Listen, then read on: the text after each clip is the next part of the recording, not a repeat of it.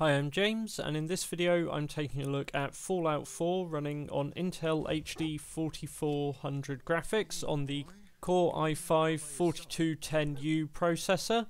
Uh, this is running at 720p and minimum detail settings, and I had quite a bit of trouble getting the game to start. It kept crashing during uh, the initial load into the menu, but once I got it up and running, it stayed stable for the time that I was testing it.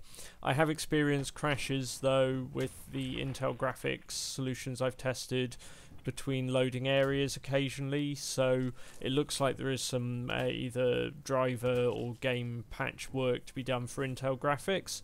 Um, also, overall performance a bit lacking. Um, we're typically seeing anywhere from about 15 to 25, 30 frames per second, which isn't appalling, but it's a bit too slow to really be considered playable.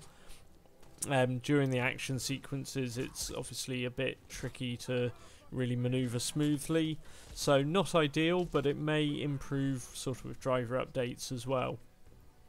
I hope you found this video useful and be sure to check out the rest of the videos on my channel. Uh, Fallout 3, run, uh, Fallout 4, sorry, running on different graphics solutions uh, and other games running on integrated graphics as well. Thanks for watching.